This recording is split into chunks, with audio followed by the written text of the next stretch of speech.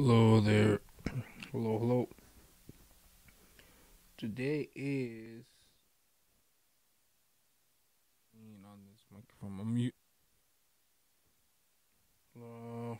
Uh. Uh. Uh.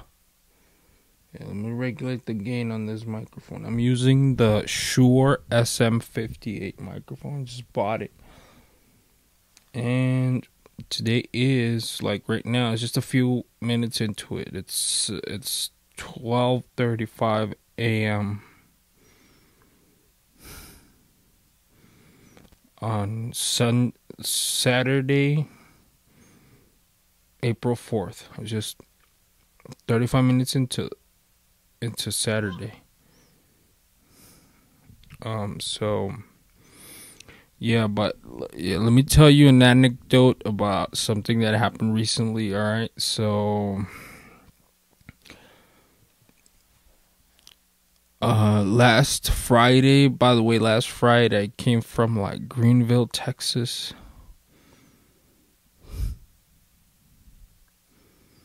Okay, no, actually, hold on. Was it last Friday? Yeah, it was. Uh, no, Friday before last came from Greenville, Texas, right? Mm, I was actually driving from Kentucky. But that last day I drove from like Greenville, Texas. I actually started like the day before. I started like driving on like like Thursday. Yeah, but I came from Greenville, Texas, and I was over there like I was going to like Academy Sports and Outdoors and shit, but ended up not going there. Cause it's a hassle trying to park the truck over there, but I was just parked there at the Walmart. And so I went to Walmart and basically bought some app 22 caliber ammo, some boxes, two boxes. It was like like a thousand it was a thousand fifty five rounds for like 45 bucks or something. Like 50 bucks. With the taxes. But yeah. I was there. I drove over here all throughout the night. She got here in the, like early in the morning like 3 in the morning 4 2 in the morning. Got here till past but all right so long story short i got here it was real windy, like a lot of wind. I left the windows rolled halfway down in the truck with the truck running and stuff because I want like some ventilation ventilation. But it was real windy and there was a lot of dirt blowing around dust. So and it was kind of cold too so I got kind of sick. Uh, so I'm having like allergies and shit so, I mean, I was just there, right? And then I still had that, uh, I still had that thought of like, you know, I wanted to buy a 22 rifle. Mind you, I already have a 9 millimeter handgun, but I still wanted to buy like a 22 millimeter rifle because it's like, well, especially, I mean, I don't like to I mean, don't really like to hunt and stuff, right? Mm, like, just seems kind of gruesome killing animals, but when you go out plinking at the range, it's a lot cheaper to shoot like 22 caliber than 9 millimeter. All right. So I was gonna go out there on the range and um, I was gonna go out there and then yeah I went to like I went to fucking Academy Sports and Outdoors here in El Paso, but they were only letting people in like like five or ten or like they were only letting in like a few people at a time and shit. So they said like the wait on the queue like at the entrance was like half an hour. So I was just like, man, I don't know, I'm leaving. I was so I just left that place and asked like called like Big Five Sporting Goods. asked them if they had rifles. So yeah, they did have rifles. Some of them because they've been selling out and shit. So, but it turned out that happened, and then you know, yeah. So you know, like you need social distancing, right, and stuff. So the, I mean, I went into Big Five Sporting Goods, the one over there on the east side.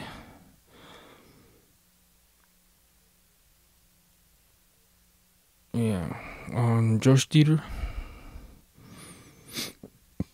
And I asked to buy the rifle and stuff. I filled out my information, and I was like, they they already have me in the system because I bought like you know the nine millimeter handgun before. So, but they said that they said the the system was kind of slow or whatever, it was backed up or something, you know, because of the same thing coronavirus. And I was also wearing handkerchief to cover my face and my you know nose and mouth. And yeah because i was like i started feeling sick that day because of that all the dirt. It was like giving me allergies. And so yeah it was like in the afternoon like after i don't know around like 6 p.m which they were gonna close at it was like 5.30 they were gonna close at 7 i think. So i went in there and there was this chick that was wearing like uh she was wearing a a mask too, like covering her mouth and her nose. She's the one that rang me up and shit. I was just there, so I was waiting for my you know background check to get approved. And she said she said like she said uh I don't know. It started to it started kind of looking suspicious and shit. But let me tell you, these chicks like there there were like two, well there were two women in there, right? Some young women. The one that rang me up seemed younger, but there were two women in there and then one guy that I saw of the out of the work like the workers in there. And a few customers that went in, including a guy like with a gun in his waist, like uh, it was like some white guy. He looked white, a gun in his waist. But anyway, yeah, she eventually said the system was like getting backed up, so like the machine froze and it didn't send them info out and shit. So like I didn't actually get a like a a yes or no. You know, I didn't like get a proceed or not proceed or whatever or denial or delay or anything. Like the info never got sent out of the store into wherever they verify it. Um, so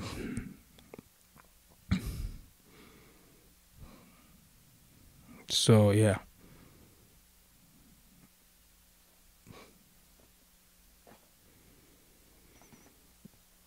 Yeah, she just came out. She's like, the machine is like lagging or frozen. That's what she kind of implied. So I was like, man, I don't know. I was like, you know, I'm not, I don't know. I can wait. I mean, can you try it again just to see if it goes through? She's like, oh, she had already, I mean, she had already told me, yeah, you're part, the machine won't, doesn't want to set us like down or something. It's having trouble, like trouble sending it. It won't send it. I tried it and doesn't want to send it and you should probably come back like tomorrow again tomorrow.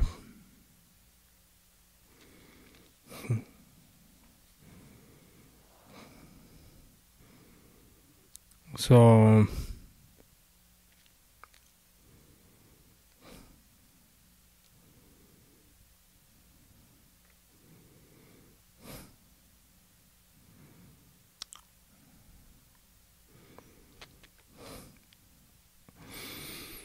Yeah, she said you should probably come back tomorrow and stuff. I was like, you know, I don't know. Can you try? I was like, can you try one more time? Is it like something you can try one more time to see if it goes through or not? Because I mean, I want to come back tomorrow, like all the way across the city, drive and shit back to the store.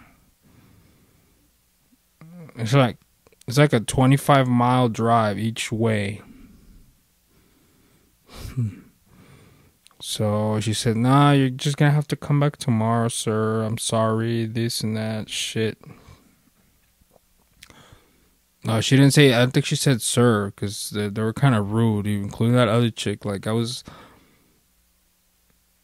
I was asking her about a question on the questionnaire, and like last time I bought a handgun, like, well, it was actually like not the guys that told it to me, but I was doing the application, and then you know the guy like walked me tr- through it right the application the questionnaire. But this chick was like i don't know i was kind of unsure because it's asking questions like you'll probably you're probably like you're probably not gonna be sure when you do that stuff. Like the first time or maybe the second time if it's been a long time. So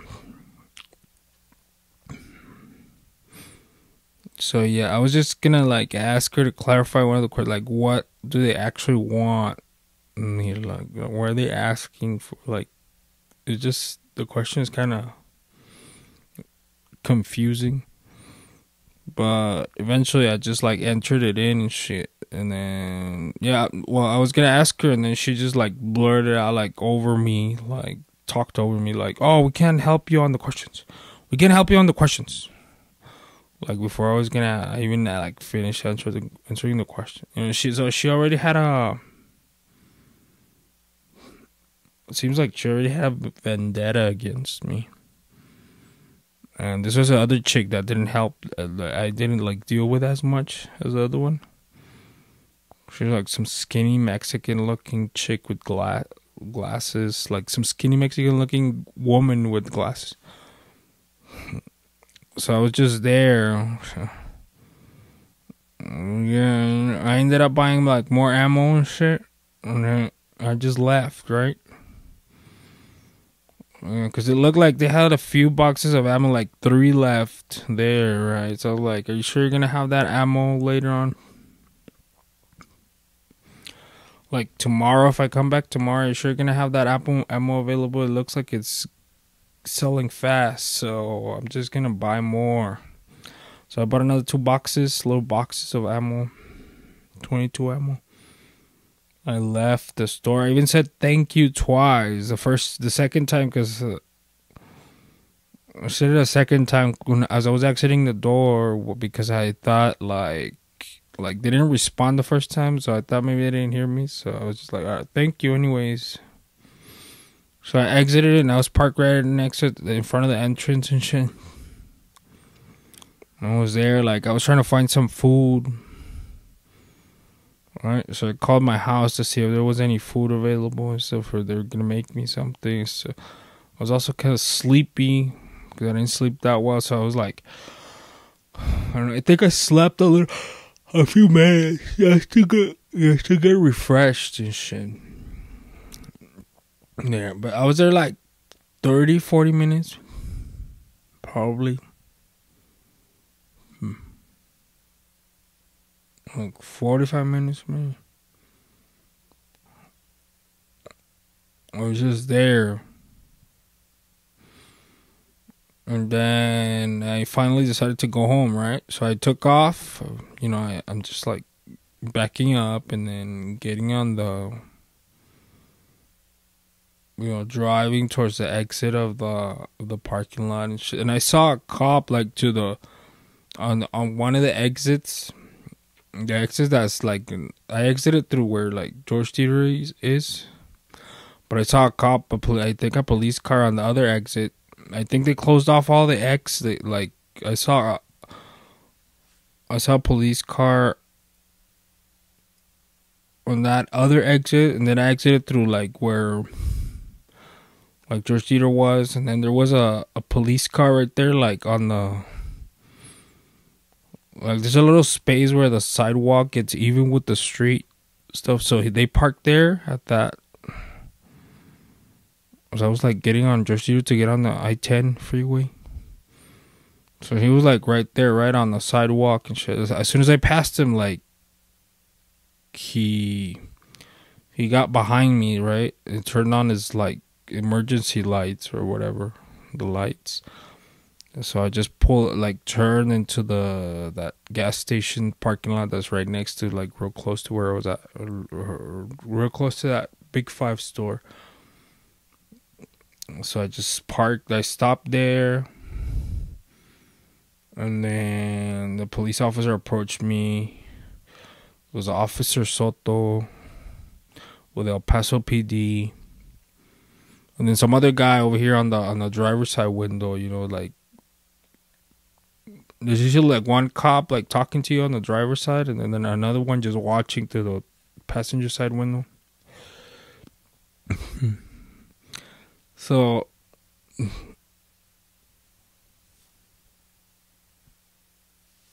um, yeah, basically they stopped and frisked me because uh they basically yeah those oh yeah the officer said oh hello how's everything going uh I'm like well, it's going like okay, I guess, pretty normal.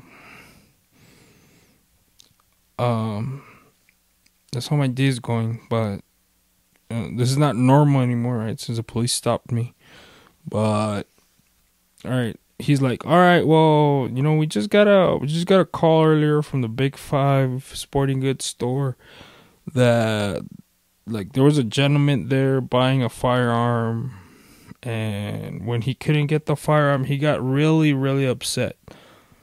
Like really upset, and then he's like, I don't know. He kept on going on. I was, I was like, no, I wasn't. I'm not upset. Like, I'm like, it's happened. I'm like, it's happened before. Like, you know that you get delayed or something for the firearm, but eventually I bought it. Right, I bought that fire like the first like the handgun that I got. I got like last year. But this time, like last Friday, I was trying to buy a rifle. So I bought a rifle. No, I, I did. I tried to buy a rifle, but I didn't get it. But yeah, they said I was really upset that I couldn't get the rifle because the system was like malfunctioning. So, so um yeah they said that i was there. I was getting really upset and then i don't know he just we just kept like doing small talk and shit but i recorded it on my phone. Uh i'm just giving you a summary of what happened so yeah he just said um yeah, and I guess it's a little suspicious that you just like sat there inside your car, like you were just waiting there and stuff. They thought it was a little suspicious. I was like, it's not a little suspicious to call like fucking police on me and shit. So basically, what I know happened is that you know they just basically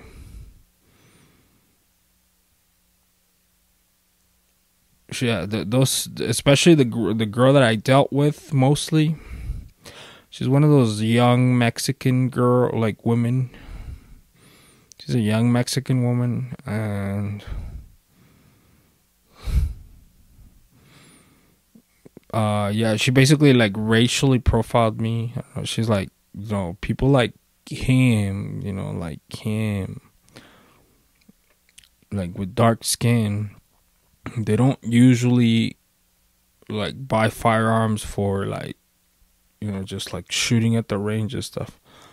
They're like in her mind, we're associated with like committing crimes. Just, yeah, she was raci- racially profiled me. Like the presumption, like she was. uh I'm a. I'm presumptively like. It's a presumption of guilt. Presumptively, presumptively guilty. I am that's what she thinks. Um. So yeah, I mean, even though I'm sure she's gotten shitted on for like being Mexican, right? But she's like, I don't know, she's, like, I don't know. She thinks that if she's like. Uh,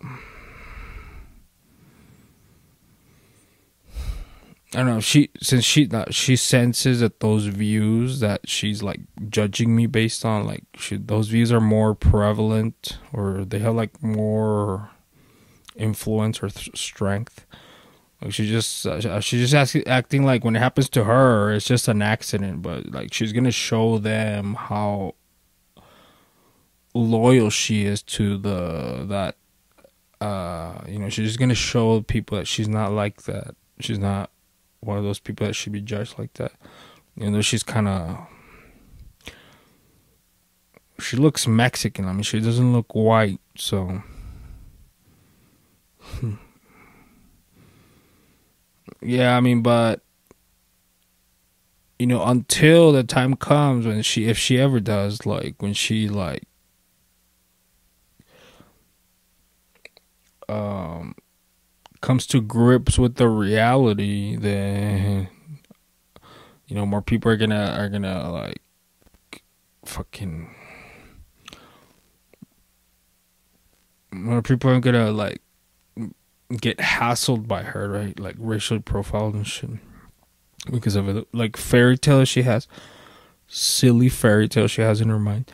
But yeah, that woman has like the police department on speed dial, basically. Yeah. Um. Yeah, but that's what they said. That I was a.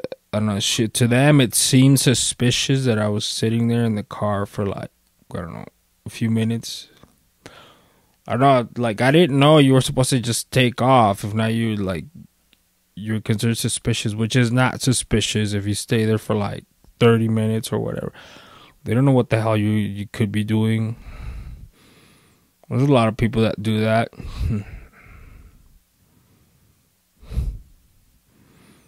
I don't know. She's like, well, actually, I do know, but I just have a habit of saying that. But I do know that, yeah, she's like, you know, her judgment is just like jumps towards like, you know, she's seeing me. She's associate associates me with something like negative, bad, and then she's gonna tell them. Basically, I guess the the white people she's gonna tell them or show them how loyal she is to their i like she's on their side right the people that spread those uh, um that exclude people and spread like the racism and shit she's gonna show them that she's like she thinks like them, so they should let her in to their side. I don't know. I mean, as far as I know, or uh, actually, it's pretty apparent, but yeah. The most limiting fact, I mean, I mean that's a problem. You know, she's she's kind of she's kind of dangerous because she can cause like you don't know how, how much it could escalate based on some like false accusations like she did she had right? Because yeah like i said she's got the police department on speed dial. She just calls fucking for no reason basically. But yeah. Yeah as far as i know i mean I, like I'm not trying to like tear her down for being a woman. but yeah, what she's doing is like what a lot of people do, which is like the first uh instinctive like reaction, which is like to try to blend in with the you know, if you feel out of place, you feel like you don't fit in, she's just gonna show them like work for put effort into like showing them work for it, like show them how much like she's on their side, like she she how loyal she is, like she really believes like she really thinks like the way that those people who like shit on her think so they like so they let her blend in and then like nobody will notice that she's different but yeah i mean i don't know that's stupid she should get off that fairy tale because because I know that the most limiting factor in society, like the most limiting factor or like the most limiting uh, condition in society is you know the thing that sets you back the most even though she like she's setting me back by doing that pulling that shit. The thing that sets me sets you back the most is being a woman. Uh, women are not allowed into like positions of power. Like i don't know the only thing you can do which is like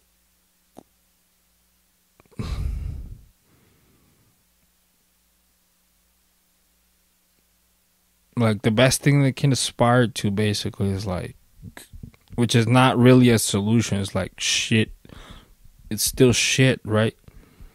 But the best thing you can aspire to is like i don't know marry a rich guy like i don't know suck his dick so he will he can like support you or something so you can have the illusion that you actually fit in but yeah there's like a double standard very different standard for women than there is for men. Uh, especially like you know they're and even the men like they get broken up into like races or by skin color or whatever. All right, but yeah, that's what this chick is doing, and I call that good for nothing corporate office of the Big Five, and I told them about what happened and at first, that chick was like, "All right, all right, well, we'll look into it," as if that means anything. I'm like, you know, I'm expecting like a follow up on this. All right, so when are you gonna call me to follow up on this? And she's like, "Well, what are you looking to get out of this?" Like, I was like, "Well, I don't know. What is it that matters?" Like, basically, the only thing that matters that you care about is like some financial compensation. I was gonna buy some stuff from there so I should at least get a discount on the stuff I was gonna buy. She's like, no, firearms are like I don't know. There's like different restrictions on firearms and this and that. We're like I don't know. We buy it from like like like third party. Uh, associates or some shit like like I don't know. She said like the firearms came from like another business or something, something like that. I'm like, so what? But it's like I don't know. It's like still costs money, you know, or what? She's like, we can send you some coupons and stuff. No, I'm like, but it's like gonna be coupons like what everybody else gets, right? So it's just like everybody else gets that don't get racially profiled or whatever. Or that didn't encounter those like brain dead employees of yours at that store. She's like, well, yeah, but I'm like, yeah, your employee called the police on me. I have it recorded on video, and the police said that they called me, uh, called the police on me. So I need something that'll compensate for the, you know, for the bad image that that gives me, like being stopped and frisked. Cause I, they told me to get out of the car. And she like put my hands behind my back as if like I was kind of like clapping but behind my back. I think that's what he said. I don't know. Yeah, but put your hands behind your back, and then she's like, he frisked me and shit. And I had my hand from on my phone, so I set it like in front of the car to record and shit. so yeah, but that I mean that doesn't look good, right? When you're getting like stopped and frisked by the police and other people i guess you know other people if other people that i'm like associate with that i associate with will see that and shit like they would have a they would hold me in a negative regard after that for like being just because i got frisked by the police so yeah but she was still trying to like shirk responsibility like around this, shirk responsibility from this, what happened. So yeah, she said the police interrogating me, like questioning me, stopping me, frisking me. It didn't have nothing to anything to do with this the store, which um that's ridiculous because it was one of her employees that called the police on me. Um So yeah, she just refused. She basically just hung up on me because she said that that was the first time she said like there was no follow up call. She like she would just look into it. I'm like, you've been this many years in business. Like you, you mean to tell me it's the first time it's happened? It's not the first time it's happened, and that's how you just like deflect whenever somebody has a complaint about the bullshit they have to put up with. You know, with the your brain dead employees that you hire. Uh, sure, that's what I told her. But then, yeah, she just hung up on me. Shit, like. Hmm. and then I called again, and then one of the like I don't know some other woman like a receptionist or something. They have their headquarters in El Segundo, California, which is like real close to LA. So yeah, I called the, like the next day.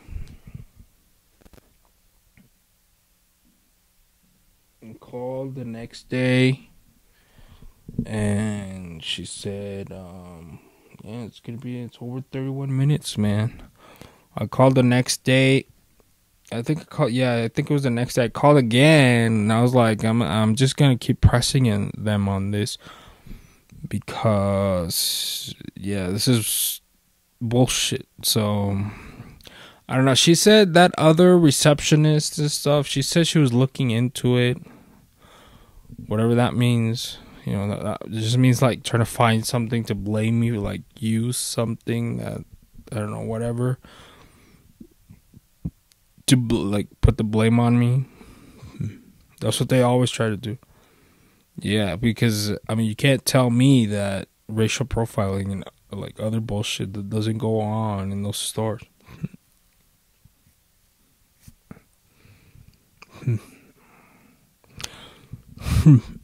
yeah, but the, that that that young woman, like she's been traumatized. She's seen all she's seen all her life that you know, basically like dark skinned people don't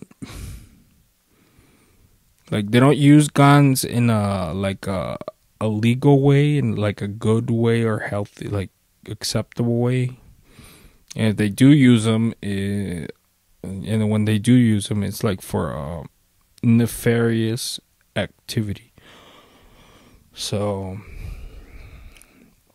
yeah that's where we're at right now or that's where I'm at. Yeah, but eventually they I don't know, she said she was uh yeah, they said the second time I called they said they were gonna get back to me and shit. I don't know if they were just blowing smoke up my ass, but they're gonna call like get back to me and I don't know that they were like looking into it or like uh discussing it or some shit like that. I mean, come on. I was gonna buy like a like a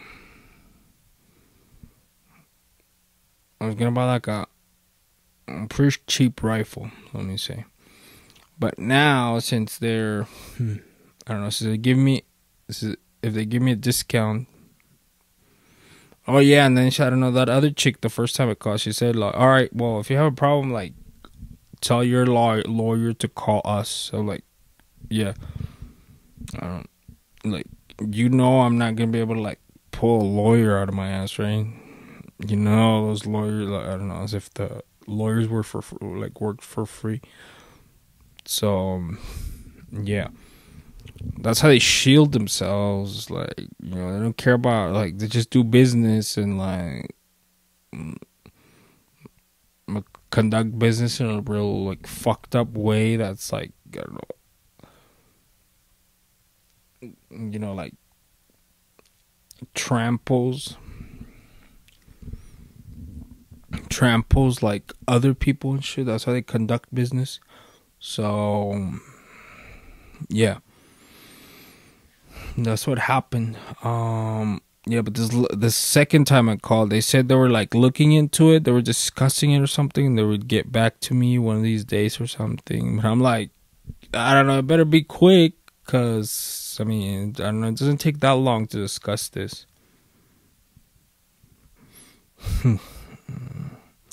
I hope they don't end up uh I don't know, cause they reach far. Like they they pull some shit like like that you might not expect, but they're real, like real. They're real shady.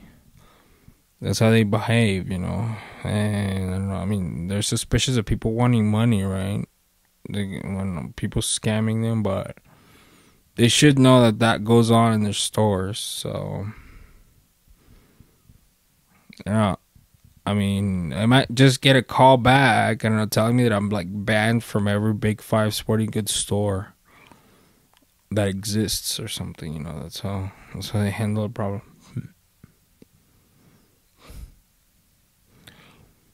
Um, yeah, I don't know. Yeah, they did. They try to bullshit to see if you'll like buy into it or something. If you're like insecure enough to believe them that they try to gaslight you. I, I so until later. All right, goodbye.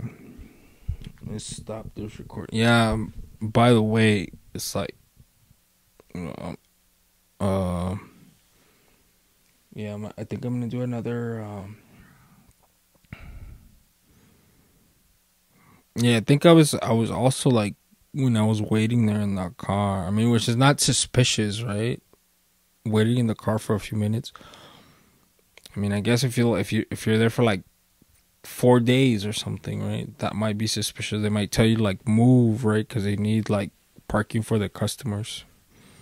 But just staying there a few minutes is not suspicious. The only thing is suspicious if you got some uh some Mexican, like there's some Mexican looking person. By the way, I'm Mexican looking, right? If you got another Mexican looking person that's trying to show the white people how loyal they are to them because, you know, like she still hasn't come to grips with the reality of her situation that you know, no matter no matter how much she tries to like blend in shit, like she'll just keep getting singled out and get getting keep getting crapped on. So yeah, I was just um yeah in the parking lot. I think I, I think I slept for a few minutes just to feel refreshed and shit because uh, you know I was gonna be sleepy on the like driving on the on the way back. Uh, not back. Uh, on the way towards my house because yeah, I had just gotten off of work. All right, bye. Yeah, so don't forget to subscribe, post your comments, and post your comments and like the video. All right, bye. Bye. Bye.